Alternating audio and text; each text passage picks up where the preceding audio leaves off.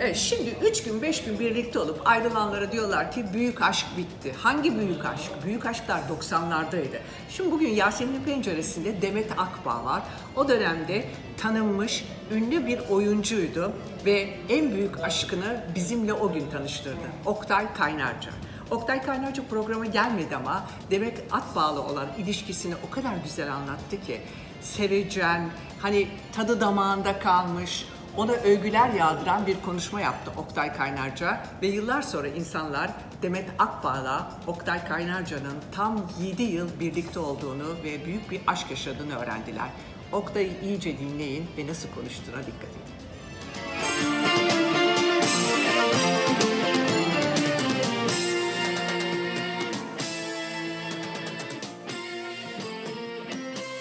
İyi akşamlar efendim. Yasemin'in penceresine hoş geldiniz. Bu akşam sizlerle hüzünlü bir çocuğun nasıl komik bir kadına dönüştüğünü izleyeceğiz. Evet içinde birçok kadın barındıran bu sanatçı için bakın erkekler ne söylüyor. Çok sempatik, çok şirin bir sanatçı. Çok da komik. Çok renkli bir kişilik ve çok yetenekli bir insan. Çok beğeniyorum kendisini. Çok beğenerek izliyorum. Kadın olarak fiziği gayet güzel onu söyleyebilirim. Demet Akbağ her zaman izliyoruz yani beğendiğimiz bir sanatçı. Demet Akbağ için kaliteli bir insan diyorum. Hoş bir kadın. Demet Akbağ çok beğendiğim bir tiyatrocu. Başarısını takdir ediyorum. Evet aslında onun hayatı bir demet hüzün, bir demet sevgi, bir demet hayal kırıklığı, bir demet aşk, bir demet kahkaha. Çünkü o Demet Akbağ. Sayın Demet Akbağ geliyor. Evet, hoş geldin. Bir dakika. Seni şurada bir boyunla basına görebilir miyim? Ay. Ay bakar mısınız mini etekler? Ne hoş bir Böyle yaptım kendime. Hemen Süslü şöyle bir hanımın alıyorum. programına gidiyorum dedim. Süslü süslü oldu. Ay inanamıyorum. Senin tabii kadın tiplemeleri içinde her tarafında boyalarla, Evet, eşarplarla. genellikle muhtelif peruklar, değişik yemeniler içinde görmeye alışık. İlk defa birebir Demet Akbağ görmekteyim şu an. Teşekkür ederim. Demet biraz sonra kaşımaya başladım. Bir problem yok değil mi? yok yok iyiyim. İyisin değil mi? Sürprizleri severim de bakalım neler olacak Neler merak ediyorum. Şimdi bu ekrandan e, senin hayatının bugüne kadar yaşadıklarının e, süzgeçten geçirmiş halini izleyeceksin. Sevgilerine ve korkularına karşı karşıya gelmeye hazır mısın? Hazır değilim deme şansım yok hazırım. Peki o zaman bakalım Demet İbar nasıl Demet Akbağ oldu? Penceremizi açıyoruz. ben de döneyim mi? Bu taraf.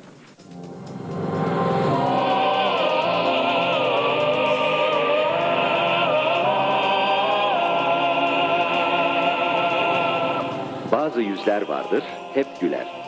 Eğer gülmüyorsa biz güleceğiz demektir. Çünkü kızıyor gibi ya da üzülüyor gibi yapıyordur. O yüzlerde duyguların abartılmış ifadelerini görünce güleceğiz demektir. Onun yüzünü görüp de gülmediğimiz zaman oldu mu? Kızsa da korksa da, üzülse de şaşırsa da biz hep gülmedik. mi? İçinde fırtınalar koparken karşısında hep gülen yüzler görmek belki onu bazen bunalttı. Ve o zaman hep başka bir dünyanın insanı olmayı istedi. Tıpkı lisede arkadaşları derslerle merslerle uğraşırken kafayı basketbola takması gibi. Tıpkı tüm ailenin hatta bütün mahallenin tam kalbini hedef aldığında biraz gecikmiş de olsa sadece onun babasının da bir hayatı olduğunu kabullenmesi gibi. İşte o anlarda hissetti ki başka bir dünyanın insanıydı o. Sonra İskender'i buldu, sevdi, evlendi. Ama ayrı dünyaların insanları aynı hayatı yaşayamadı.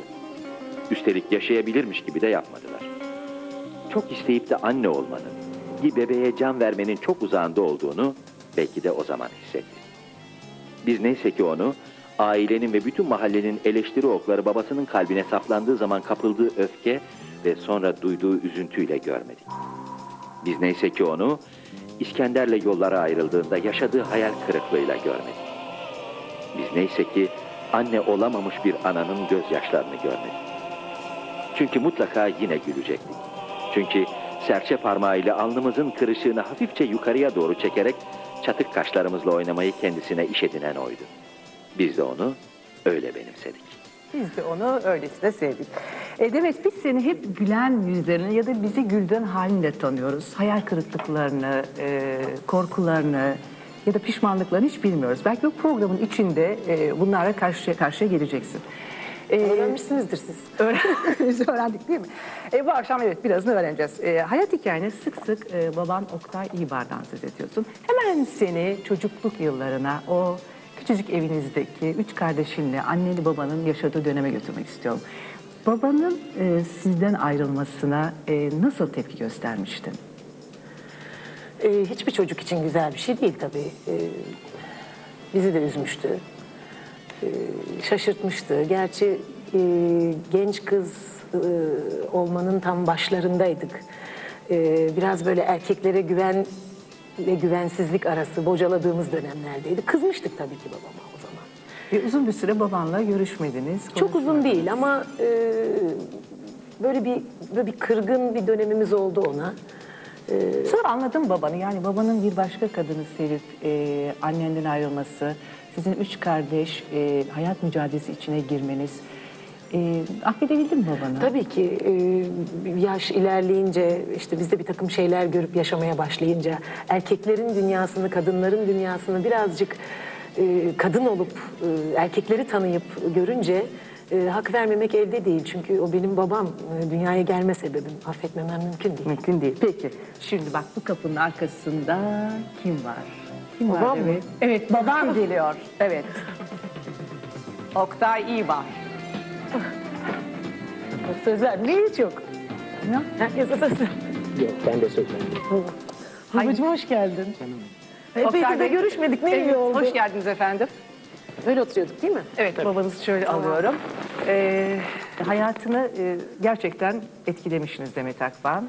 Ee, biraz önce de şeyden söz etmiştik. Sizin e, annesiyle ayrılmanız demek ki gerçekten e, genç kızlık döneminde bir hayli duygusal olarak üzmüş ve yaralamış.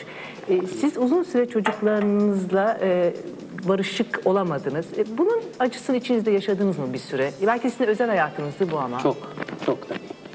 Çok tabii. Ee, hele Demet'in e, fevkalade taklit merakı, o çok güzel.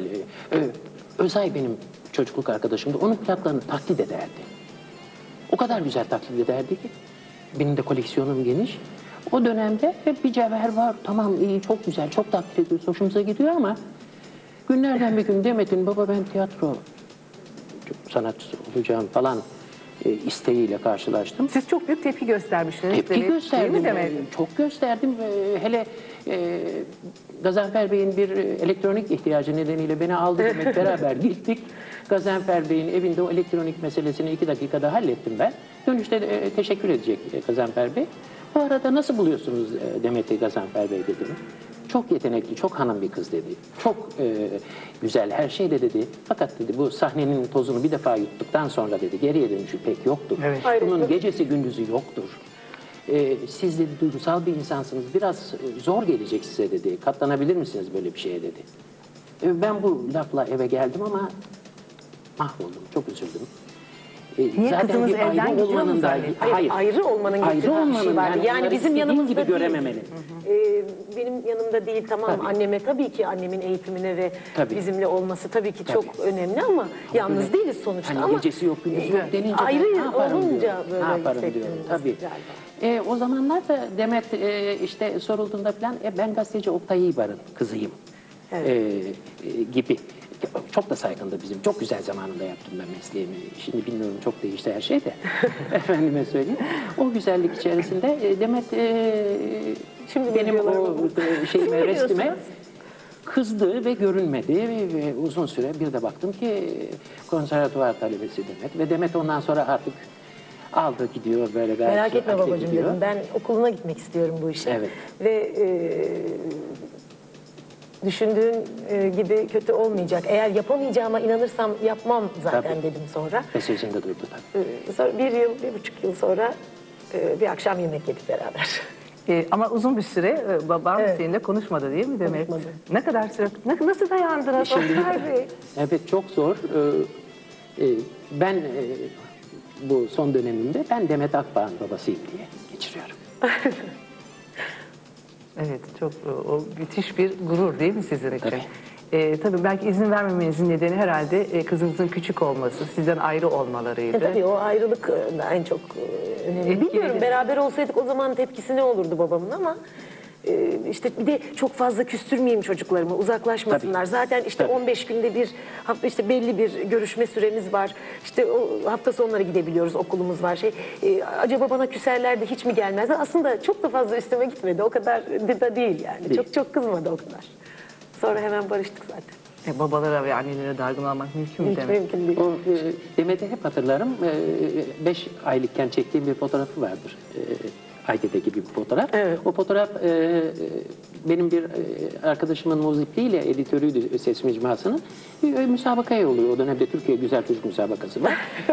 Günlerden bir gün aa, geldi elinde "Aa, Demet fotoğrafını yaşadı. İlk medyayla tanışması demek değil mi? Böyle kırmızı bir eşarp Aytepe gibi böyle Evet, çok yakışırmış bana. güzel bir şey. Yuvarlakmış suratım. Böyle Çok bir şey bağlarlar. Yani e, ben bir fotoğraf sanatçısı olarak o benim hala daha o kadar güzel portre yoktur derim ben.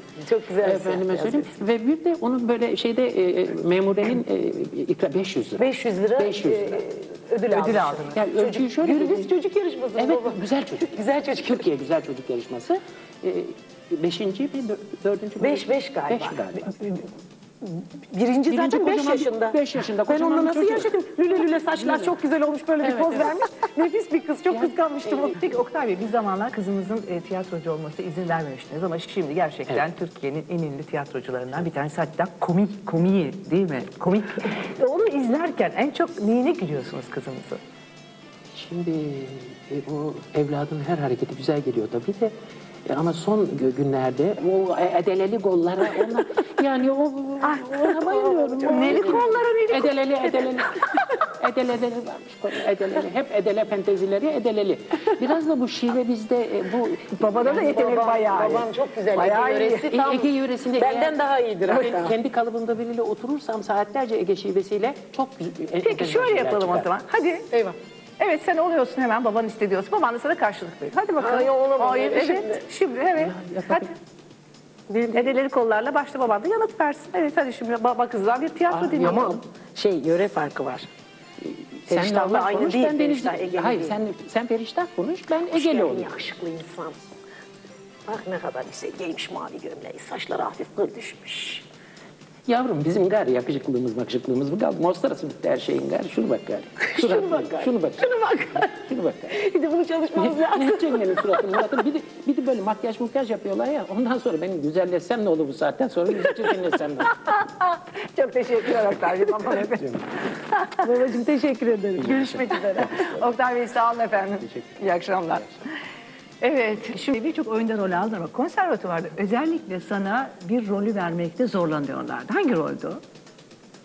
Sevgili rolü. Sevgili Evet. genç kadın. Evet. Genç kız. Neden? Evet. Çünkü boyun çok uzun ve sana uygun bir sevgili Hem bulamıyorlardı. de o sene sınavlarda şansıma e, hem çok genç e, insanlar kazanmış sınavı. Yani yan yana durduğumuz zaman yalnız boy olarak değil. Yaşça da benden küçük. Ama sonra özel yaşantında bir sevgilin oldu. Uzun süre birlikteliğin oldu. Ve şimdi bak ondan sana hoş bir mesaj getirdi. Demetçim. Bak Demetçim diye herkese öyle söylemem biliyorsun. Yani bu Demetçim lafı enteresandır. Çok seversin böyle söylenmesini. Hayatımın en önemli insanlarından bir tanesisin. Hatta en başındasın. Hala da öylesin. Senin yaptıklarının şu anda hepsinin bir pragman olduğunu düşünüyorum. Yani Demet Akbağ'ın bugüne kadar yaptığı her şey şu anda bir pragmandır. Bundan sonra film başlayacak diye düşünüyorum. Yani asıl film daha sonra. Sen eğer Türkiye'de değil de Amerika'da veya Avrupa'da olsaydın herhalde bir e, Barbara Streisand falan geçeceksin diye düşünürüm ben hep. Biliyorsun da bunu. Senin çok güzel bir kadın olduğunu düşünürüm ben hep.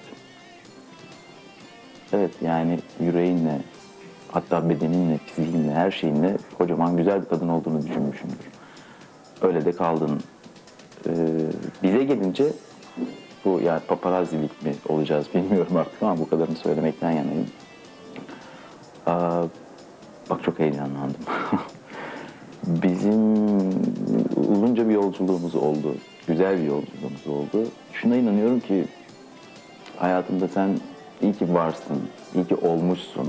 İyi ki Demet Akbağ benim hayatımda böyle bir seyir göstermiş. O yüzden ben kendimi çok şanslı hissediyorum. En son söyleyeceğim şey şu ki gözünün ışıltısı, yüreğinin ateşi hiç sönmesin. Çok güzel konuşmuş. Teşekkür Oktay ederim. Kaynarca. Ne kadar süre beraber oldun Oktay'la Demet?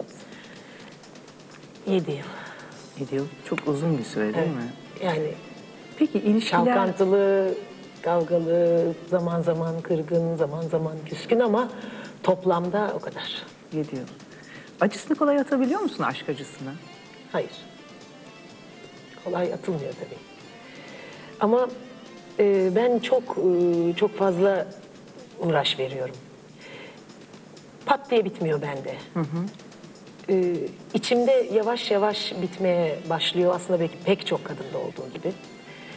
E, noktayı koyduğum anda e,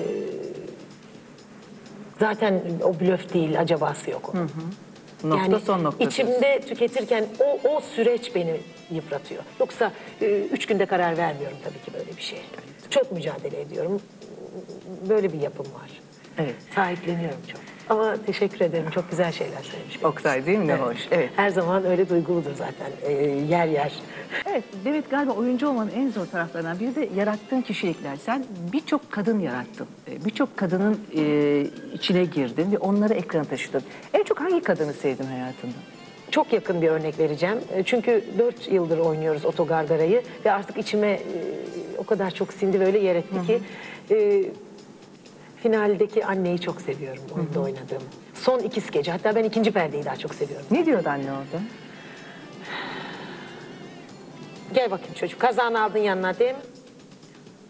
Aldım anneciğim diyor. Paralarını da aldım. Ah, Keşke paralarını cebine dikseydik. Ya çalarlarsa. İlk lafları bunlar Bravo, annenin. değil mi? Ee, ve annenin o e, cır cır cır cır cır cır konuşup da e, finalde e, oğlunu askere gönderdikten sonra aldığı mektup e, mektubu dinlerken e, işte orada bir hüzünleniyorum. En hüzünlü kadınım şimdilik o. Ama biz genelde seni gülen ya da güldüren halini hatırlıyoruz. Evet. Programın sonuna gelirken şimdi senin çok güzel taklit yaptığını programın başından beri söylüyoruz ve bunu da burada gösteriyorsun. Evet. Biraz önce e, sorduğumda e, ünlü ünsüz bir sürü kadın taklidi yapıyorsun ama ünlü kadınların da var senin. Şimdi hadi bir ünlü kadın seyredelim. Ünlü kadın. Evet. Tamam. Ee, yalnız e, bazılarında e, uzun sohbetler edebiliriz. Bazılarında sırf şarkı dinleyebiliriz. Şarkı söylerken daha rahat hissediyorum kendimi. Konuşurken çok... Bir de mesela sevgili Sezen'i konuşurken daha rahat ediyorum. Onda da başarılı oluyor zaman zaman. Ee, şöyle bir şeyler yapıyoruz. Onları karşılıklı konuşturmuşum ben bir programda. Nasıl yapmıştın? Yapmışım böyle fotomontaj. Nüket'le Sezen'i mi Tabii Ajda da var. Üçü. Şimdi yapabilir Karşılıklı misin? Üçünü birden konuşturamam şimdi. Çünkü değişik. O birden böyle getirdim onu. Değil ama yani e, peruğumla, küpelerimle, saçımla değil mi deyip onu karşıma alırım görmem lazım. En çok şarkı söylerken hatırlıyorum böyle gözlerini. Evet, peru. E, öyle bir havaya girmem. Belki birazcık müziğini duymam lazım. Anlatabiliyor muyum? Onu böyle e, tam aksesuarlar olacak. Bazılarını giyinebilmem için. Tabii. Evet. Nüket Tur'da hangi şarkıyı söyleyeceksin? E bir melankoli yaparız. Seyirciler de memnun olur. Tamam. Hem eski sevilen bir şarkı. Evet. Beni en güzel günümde sebepsiz bir keder alır. Bütün ömrümün beynimde acı bir tortusu kalır. Anlayamam kederimi Bara bara bara bara Bir ateş yakar derimi İçim dar bulur yerini. Gönlüm dağlarda bulanır